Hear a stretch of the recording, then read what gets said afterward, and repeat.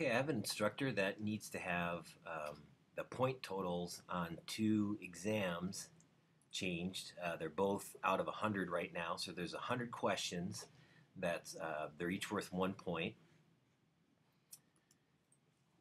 If I come into the, the editor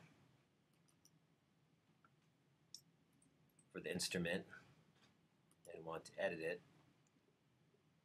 because the point total is based on the individual question points, I would normally come in to each question and um, change 1 to 1.5 and then update question.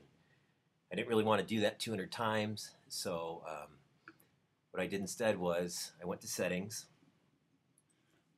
and I selected export course content and I'm going to export both of those quizzes. Um, you can do them individually. I, I just said all quizzes and it's going to put them into one folder.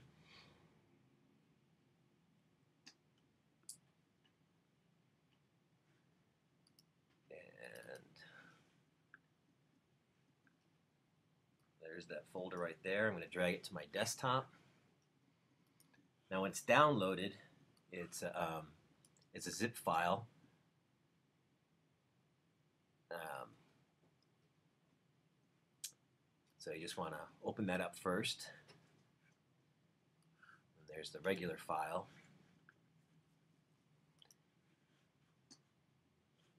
And when I open this folder, there's, there's three things in here.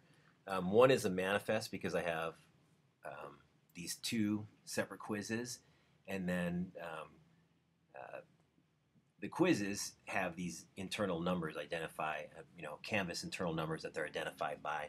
If I double click on one of those, then I will see an XML file, and I'm just going to open that with uh, TextWrangler. You could use any kind of text editor.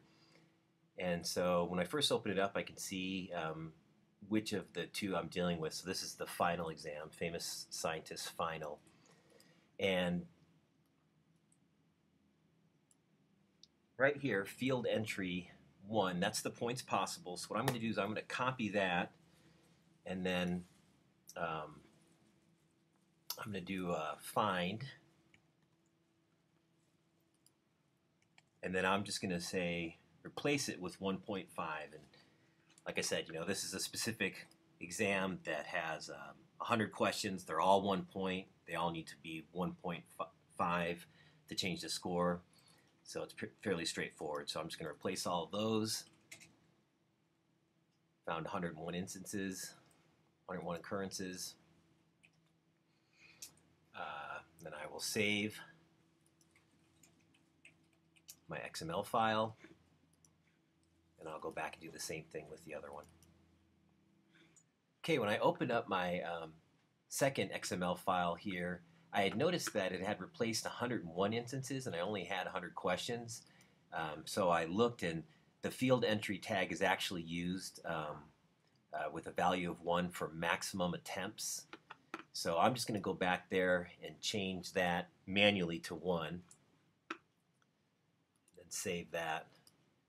And then after I do my find and replace um, uh, for all the field entries in this other exam, I'll go back and change that one manually. Okay, now that my two XML files have been changed, I'm going to close this folder. Um, and you'll notice it's a, it's a regular folder type. It's not zip, so I need to go and compress that again. Um, okay, so I've got the changes made to the XML files. Um, I've recompressed or rezipped uh, the folder, and I'm going to go into Canvas under Settings, and I'm going to select Import Content into this course. I'm going to select Import Quizzes. And then I will choose the file that's on my desktop.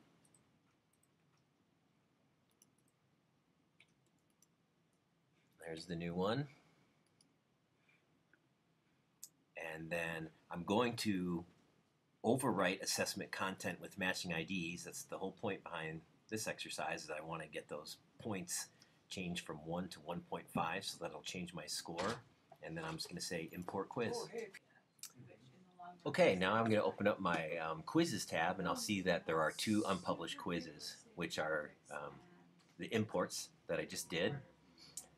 Uh, and I'm going to double click on this to open it up. I think I'm okay with that. All right now it's saying that this is worth zero points because it hasn't had the ability to refresh the total points yet.